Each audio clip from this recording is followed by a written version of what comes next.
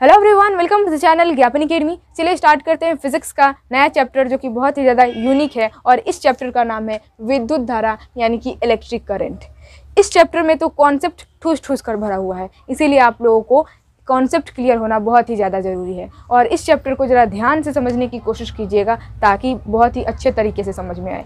इस चैप्टर में जो सबसे पहला टॉपिक पढ़ना है, वो विद्युत धारा को ही पढ़ना है। विद्युत धारा किसे कहते हैं? देखिए, पहले समझिए धारा।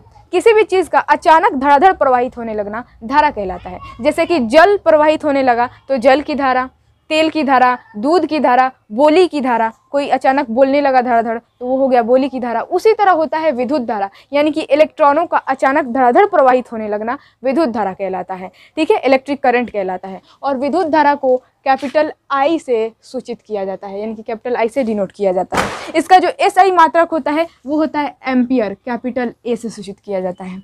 ऐसा ही मात्रक मतलब समझते हैं? जैसे कि द्रव्यमान को किलोग्राम में मापते हैं, लंबाई को मीटर में मापते हैं, उसी तरह विद्युत धारा को एम्पियर में मापते हैं। यहाँ तक कोई दिक्कत नहीं है। अब देखिए, मैं आप लोगों को बता दी कि इलेक्ट्रॉनों का प्रवाहित होना विद्युत धारा कहलाता है। आप लोग जान गए। लेकिन जब इलेक्ट्रॉन का खोज नहीं हुआ था, इलेक्ट्रॉन जैसा नाम का कण इस दुनिया में नहीं आया था, लोग नहीं जानते थे, तब इस, उस वक्त माना जाता था कि विद्युत धारा जो है ना, आवेश के प्रवाह की दर को कहते हैं। और आप लोगों को बुक में भी जो डिफिनेशन मिलेगा, वो भी यही मिलेगा कि आवेश के प्रवाहित होने की दर को विद्युत धारा कहते हैं। अब यहाँ पर एक नया टर्म और नया कंडीशन आ गया कि भाई आवेश किसे कहते हैं? आखिर आवेश है क्या? चार्ज। इसको इंग्लिश में बोलते हैं चार्ज। ठीक है, आवेश एक प्रकार की उत्तेजना है, उत्तेजना, जो कि हर वस्तु में, हर तत्व में पाया जाता है। अगर मैं इसको और अच्छे से समझाने की कोशिश करूँ तो आवेश तो हर इंसान में पाया जाता है। हर इंसान आवेशित होता है और आवेशित होने की वजह से वो क्या नहीं कर देता है। हर चीज़ तोड़ फोड़ कर देता है। यहाँ तक कि वो खुद को तो नुकसान पहुँचाता ही है, दूसरों को भी खुद नुकसान कर देता है। इसीलिए बुज़ुर्ग लोग और बाकी लोग बोलते हैं कि बहुत ज़्यादा क्या है, आवेश में है, बहुत ही ज़्यादा क्या कर रहा है, उड़ रहा है, बहुत ही ज़्यादा अकड़ दिखा रहा है। मतलब वो आवेशित है। अगर किसी इंसान के हाथ में बंगला आ जाए, कार आ जाए, बहुत ज़्यादा पैसा आ जाए, वो अमीर हो जाए तो उसमें क्या आ जाएगा? अकड़ आ जाएगा, आवेशित हो जाएगा वो। ठीक है? और ऐसा नहीं है कि जिस इंसान के हाथ में बंगला, यानी कि जो इंसान अमीर है, उसके पास बंगला है, कार है, वो इंसान आवेशित नहीं हो रहा है, इसका मतलब उसमें आवेश नहीं है। भाई, उसमें भी आवेश है, बस वो आवेशित नहीं हो रहा है, अकड़ नहीं दिखा रहा है। आवेश तो उसमें भी है। ठीक है? तो आवेश जो है, चार्ज, इंसान चार्ज एक्स्ट्रा चार्ज हो जाता है, ठीक है? और कोई कोई इंसान बहुत ज़्यादा डिस्चार्ज हो जाता है। जब कोई इंसान एक्स्ट्रा चार्ज हो जाता है ना तो वो किसी भी काम को यूँ चुटकियों में कर कर दिखा देता है, ठीक है? और जब वो डिस्चार्ज हो जाता है तो वही काम को वो दिन भर लगा देता है और उससे वो काम नहीं होता, ठीक है? तो चार्ज समझ में आया है? चार्ज तो हर इंसान में होता है और उसी तरह हर तत्व में, हर वस्तु में क्या होता है? चार्ज यानी कि आवेश होता है। ठीक है, आवेश दो प्रकार का होता है धन आवेश और ऋण आवेश धन आवेश को प्लस से सूचित किया जाता है और धन आवेश को धनात्मक आवेश या पॉजिटिव चार्ज भी कहते हैं। ऋण आवेश को माइनस से सूचित किया जाता है और ऋण आवेश को निगेटिव चार्ज या ऋणात्मक आवेश भी कहते हैं। ठीक हो गई? क्लियर बात? यानी कि आवेश का कितना प्रकार? दो प्रकार धन आवेश और ऋण आवेश और इंसान भी दो तरीके से आवेशित होता है। एक तो धनावेशित होता है, एक ऋणावेशित होता है। कैसे? जब इंसान आवेशित होकर, आवेश में आकर कोई अच्छा काम करे तो उसको बोलेंगे कि वो धनावेश में आ गया है, यानी कि वो धनावेशित हो गया है। और जब कोई इंसान आवेशित होकर, यानी कि आवेश में आकर कोई बुरा काम को अंजाम दे दिया, यानी कि उस इंसान को बोलेंगे कि भाई, वो ऋणावेशित हो गया है, यानी कि उस पर क्या आ गया ऋणावेश आ गया है। ठीक है? यहाँ तक हो गई क्लियर बात। अब देखिए ज़रा, ध्यान दीजिए बात को। इतना तो आप लोगों को मालूम होगा कि कोई भी वस्तु हर चीज़ परमाणु से मिलकर बनी होती है। किससे मिलकर बनी होती है भाई? परमाणु से मिलकर बनी होती है। जिस तरह हम लोगों का शरीर कोशिकाओं से मिलकर बना होता है, उसी तरह हर वस्तु परमाणु से मिलकर बनी होती है। और परमाणु में कितनी चीज़ें होती हैं? तीन चीज़ें, इलेक्ट्रॉन, प्रोटॉन और न्यूट्रॉन। अभी हम लोग न्यूट्रॉन की बात हटाते हैं, इसकी अभी हम बात नहीं करेंगे। जो हम लोगों के लिए ज़रूरी है ना, उसी पर हम फोकस करेंगे। इलेक्ट्रॉन और प्रोटॉन पर। देखिए, इलेक्ट्रॉन पर होता है माइनस चार्ज। क्या होता है? इलेक्ट्रॉन पर माइनस चार्ज, यानी कि ऋण आवेश। और प्रोटॉन पर होता है प्लस चार्ज, यानी कि धन आवेश। ठीक है? और एक इलेक्ट्रॉन पर कितना चार्ज हो जाता है? कितना ऋण आवेश होता है? माइनस का one point six into ten to the power minus nineteen coulomb आवेश होता है। देखिए, आवेश का ऐसा ही मात्रा क्या होता है? कुलाम्ब होता है। यहाँ पर देखिए सी लिख दी हूँ, कुलाम्ब। जिस तरह हम लोग विद्युत धारा को एम्पियर में मापते हैं, उसी तरह आवेश को कुलाम्ब में मापते हैं। तो यहाँ पर एक इलेक्ट्रॉन पर कितना ऋणावेश होता है? One point six into ten to the power minus nineteen coulomb. यहाँ पर माइनस क्यों लगा है? क्योंकि इलेक्ट्रॉन पर माइनस चार्ज हो जाता है, इसीलिए। प्रोटॉन पर भी इतना ही चार्ज होता है, one point six into ten to the power minus nineteen coulomb. ठीक है? बस यहाँ पर प्लस यहाँ पर माइनस नहीं रहता है प्लस रहता है, क्योंकि ये धनावेश है ना, इसीलिए। अब जरा ध्यान दीजिए, हर वस्तु यानी कि हर तत्व किस चीज़ से मिलकर बना हुआ है? तो परमाणु से मिलकर बना हुआ है। परमाणु में क्या होता है? इलेक्ट्रॉन और प्रोटॉन, हालाँकि न्यूट्रॉन भी होता है तो अभी हम लोग न्यूट्रॉन की बात नहीं कर रहे हैं, इसको हटा देते हैं। हर वस्तु में क्या होता है? इलेक्ट्रॉन और प्रोटॉन। यानी कि हर वस्तु में धनावेश और ऋणावेश होता है। और जितना प्रोटॉन होता है, उतना ही इलेक्ट्रॉन होता है। यानी कि जितना धनावेश होता है, उतना ही क्या होता है? ऋणावेश होता है हर वस्तु में। और इसी वजह से ये दोनों बराबर होने की वजह से एक दूसरे को क्या किए रहते हैं? न्यूट्रल किए रहते हैं। और उसमें विद्युत धारा प्रवाहित नहीं होती है। उस वस्तु में उस तत्व में। लेकिन जैसे ही उस तत्व में इलेक्ट्रॉन और प्रोटॉन यानी कि ऋण आवेश और धन आवेश की मात्रा घट बढ़ जाती है मान लीजिए या तो उस वस्तु का ऋण आवेश यानी कि इलेक्ट्रॉन घट जाएगा और धनावेश यानी कि प्रोटॉन बढ़ जाएगा या फिर इलेक्ट्रॉन बढ़ जाएगा और प्रोटॉन घट जाएगा। इसके घट बढ़ की वजह से वो वस्तु क्या हो जाती है? आवेशित हो जाती है और आवेशित होने की वजह से उस वस्तु में विद्युत धारा प्रवाहित होने लगती है। अभी आप लोग को कॉम्प्लिकेटेड लग रहा होगा। थोड़ा सब्र रखिए सब चीज़ को मैं लिंक करूँगी। थोड़ा और। यहाँ पर ध्यान दीजिए बात को। इसके बाद, इसको समझने के बाद आप लोगों को हाँ आइडिया लग जाएगा कि मैं आप लोगों को क्या समझाने की कोशिश कर रही हूँ। देखिए, मान लीजिए एक सोडियम है। सोडियम एक तत्व है, इसका परमाणु संख्या होता है ग्यारह और एक क्लोरीन है, इसका परमाणु संख्या होता है सत्रह। ठीक है? जिस तत्व का जितना एटॉमिक नंबर होता है, जितना परमाणु संख्या होता है, उस तत्व में उतना ही इलेक्ट्रॉन और उतना ही प्रोटॉन पाए जाते हैं।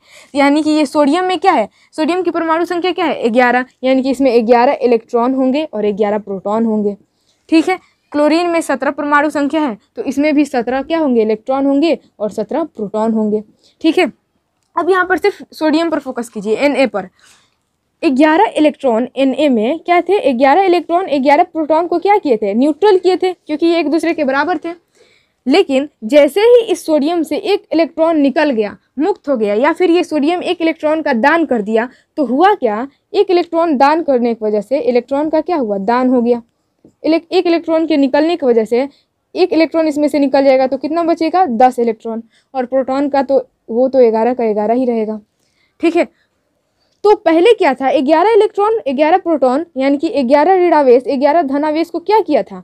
न्यूट्रल किया हुआ था तो इस पर कोई आवेश नहीं था। अब इसमें से एक इलेक्ट्रॉन का दान हो गया, ग्यारह इलेक्ट्रॉन में से तो बचा कितना? दस इलेक्ट्रॉन अब ये दस इलेक्ट्रॉन दस ही प्रोटॉन को क्या करेगा? न्यूट्रल करेगा। एक प्रोटॉन तो बच जाएगा। तो वही क्या होता है? इसमें क्या हो गया? धनावेश की अधिकता हो गई, यानी कि प्रोटॉन की अधिकता हो गई, और इसीलिए ये सोडियम पर क्या आ जाता है? प्लस आवेश आ जाता है, यानी कि सोडियम क्या हो जाता है? धनावेशित हो जाता है। क्या हो जाता है? धनावेशित हो जाता है। किसके वजह से? इलेक्ट्रॉन के निकलने की वजह से। अब यहाँ पर देखिए, क्लोरीन की बात करते हैं। इसमें भी सत्रह इलेक्ट्रॉन, सत्रह प्रोटॉन को क्या किया है? न्यूट्रल किया है। लेकिन अगर ये क्लोरीन एक इलेक्ट्रॉन अपने में जोड़ ले, यानी कि इलेक्ट्रॉन को क्या कर ले, ग्रहण कर ले ले ले तो सत्रह इलेक्ट्रॉन थे पहले, अब अट्ठारह इलेक्ट्रॉन हो जाएँगे, जब ले लेगा तो। और सत्रह का सत्रह प्रोटॉन रहेगा। तो यहाँ पर तो सत्रह इलेक्ट्रॉन, सत्रह प्रोटॉन, यानी कि सत्रह ऋणावेश सत्रह धनावेश को क्या किया था? न्यूट्रल किए हुए था। लेकिन यहाँ पर अट्ठारह इलेक्ट्रॉन हो गए और सत्रह ही प्रोटॉन है। तो सत्रह प्रोटॉन, सत्रह इलेक्ट्रॉन को तो न्यूट्रल कर देंगे। किसकी इसमें अधिकता हो गई? इसमें हो गई अब माइनस, यानी कि ऋण आवेश की अधिकता। तो यहाँ पर क्लोरीन पर क्या आ जाएगा? माइनस आवेश। ठीक है? और क्लोरीन क्या हो जाएगा? ऋणावेशित हो जाएगा। ठीक है? तो यहाँ पर आप लोगों को दो चीज़ें ध्यान देनी है। पहली चीज़ ये है कि जब किसी तत्व में क्या होता है, जब किसी तत्व से इलेक्ट्रॉन निकलता है, यानी कि वो तत्व अगर इलेक्ट्रॉन का दान करता है तो उस पर क्या आता है? प्लस चार्ज आता है, यानी कि धनावेशित, वो क्या हो जाता है? धनावेशित हो जाता है। क्यों? क्योंकि इलेक्ट्रॉन को दान करता है इलेक्ट्रॉन को निकाल देता है अपने में से। जब इलेक्ट्रॉन को निकालेगा तो उसमें धनावेश की अधिकता होगी, इसीलिए क्या हो जाता है? धनावेशित हो जाता है। और जब कोई तत्व अपने में इलेक्ट्रॉन जोड़ता है, यानी कि वो इलेक्ट्रॉन को ग्रहण करता है तो उस पर क्या आ जाता है? माइनस चार्ज आ जाता है। क्योंकि जब इलेक्ट्रॉन को लेगा तो इलेक्ट्रॉन यानी कि ऋणावेश की मात्रा क्या होगी? ज़्यादा होगी, धनावेश की मात्रा कम हो जाएगी। इसीलिए उस तत्व पर क्या आता है? माइनस आवेश। तो ये तो हो गई पहली बात कि जब कोई इलेक्ट्रॉन दान करेगा तो उस पर प्लस आएगा। जब कोई इलेक्ट्रॉन ग्रहण करेगा तो उस पर माइनस चार्ज आ जाएगा। दूसरी बात ध्यान देने वाली ये है कि यहाँ पर धन आवेश। सोडियम पर धन आवेश आने का, यानी कि प्लस चार्ज आने का जिम्मेदार कौन है? इलेक्ट्रॉन यहाँ पर इलेक्ट्रॉन ही ना निकल रहा है इलेक्ट्रॉन का ही ना दान हो रहा है। और यहाँ पर क्लोरीन पर माइनस चार्ज आने का क्या कारण है? कौन जिम्मेदार है? इलेक्ट्रॉन इसमें भी तो इलेक्ट्रॉन क्या हो रहा है? जुड़ रहा है। यानी कि यहाँ पर इलेक्ट्रॉन का ग्रहण हो रहा है। यानी कि धनावेश और ऋणावेश दोनों आने का कारण सिर्फ़ इलेक्ट्रॉन है। उसका जिम्मेदार कौन है? इलेक्ट्रॉन। यानी कि इलेक्ट्रॉन किसी तत्व में जाकर जुड़ भी सकता है और किसी तत्व में निकल भी सकता है। यानी कि इलेक्ट्रॉन के पास ऐसी पावर है, ऐसी क्षमता है, उसको इतना फ्रीडम मिला है कि वो कहीं भी जा सकता है, आ सकता है, सिर्फ़ इलेक्ट्रॉन का प्रवाह होता है। यहाँ पर प्रोटॉन जो होता है ना, ये बैठे रहता है आराम से। इसका कहीं भी प्रवाह नहीं होता। सिर्फ़ इलेक्ट्रॉन क्या करता है? गति करता है और इलेक्ट्रॉन प्रवाह करता है। अब यहाँ पर ध्यान दीजिए बात। इलेक्ट्रॉन पर कौन सा चार्ज है? ऋणावेश तो अगर यहाँ पर इलेक्ट्रॉन क्या करता है? ऋणावेश ऋणावेश यहाँ पर जब गति करता है, यानी कि जब कोई आवेश गति करता है, प्रवाह होता है तो क्या कहते हैं उसे? विद्युत धारा। तो इलेक्ट्रॉन क्या हो रहा है? प्रवाहित हो रहा है। प्रोटॉन तो प्रवाहित होगा नहीं, सिर्फ़ इलेक्ट्रॉन प्रवाहित होगा। तो आप बोल सकते हैं कि इलेक्ट्रॉन के प्रवाह को विद्युत धारा कहते हैं, या फिर आप लोग ये बोल सकते हैं कि आवेश के प्रवाह को विद्युत धारा कहते हैं। कोई दिक्कत नहीं है। आवेश के प्रवाह को विद्युत धारा बोल सकते हैं। क्यों बोल सकते हैं? कि आवेश में तो धन आवेश प्रवाहित होगा नहीं, क्योंकि धन आवेश तो प्रोटॉन है। ऋणावेश ही प्रवाहित होगा, और ऋणावेश कौन है? इलेक्ट्रॉन है। ठीक है? इलेक्ट्रॉन ऋणावेश है तो वही प्रवाहित होगा। तो आप इलेक्ट्रॉन के प्रवाह को विद्युत धारा बोलिए, या फिर आवेश के प्रवाह को विद्युत धारा बोलिए, बात तो एक ही है। ठीक है? तो यहाँ पर हो गई क्लियर बात। अब आगे समझिए, यहाँ पर। किसी चालक से एकांक समय में गुजरने वाले क्यों आवेश को विद्युत धारा कहते हैं? ये भी आप लोगों के बुक में डिफिनेशन मिलेगा। देखिए, इसका क्या मतलब होता है? चालक का मतलब समझते हैं, जिससे विद्युत धारा आसानी से प्रवाहित हो जाए, उसको बोलते हैं चालक। तो मैं यहाँ पर एक चालक तार ले ले रही हूँ, जिससे आसानी से विद्युत धारा प्रवाहित हो जाए। ये क्या ले ली मैं? चालक ले ली। अब इस चालक तार से एक सेकंड में, यानी कि एकांक समय में, एक सेकंड में जितना आवेश गुजरेगा, उसी को बोल देंगे हम लोग विद्युत धारा। अभी भी नहीं समझ में आया होगा। देखिए, ध्यान दीजिए। अगर मैं बोलूँ कि दस सेकेंड में 10 सेकेंड में इस चालक से चालीस कुलम्ब आवेश प्रवाहित हो रहा है। दस सेकेंड में इस चालक से 40 कुलम्ब आवेश प्रवाहित हो रहा है तो एक सेकेंड में कितना आवेश प्रवाहित होगा? आप लोग बताइए, फटाफट। अगर दस सेकेंड में 40 कुलम्ब इस चालक से आवेश प्रवाहित हो रहा है तो एक सेकेंड में कितना आवेश प्रवाहित होगा? तो आप लोग सिंपली क्या करेंगे? जितना आवेश प्रवाहित हो रहा है, आवेश को समय से भाग दे देंगे, यानी कि 40 बटा दस कर देंगे, और 10 फोर जो फोर्टी होता है, यानी कि चार। और यही जो चार आ रहा है, इसी को बोलते हैं विद्युत धारा। यानी कि ये एक सेकंड में जितना आवेश प्रवाहित हुआ, उसी को क्या बोलते हैं? विद्युत धारा। यानी कि इस चा, इस चालक तार से चार एम्पियर की विद्युत धारा प्रवाहित हुई। ठीक है?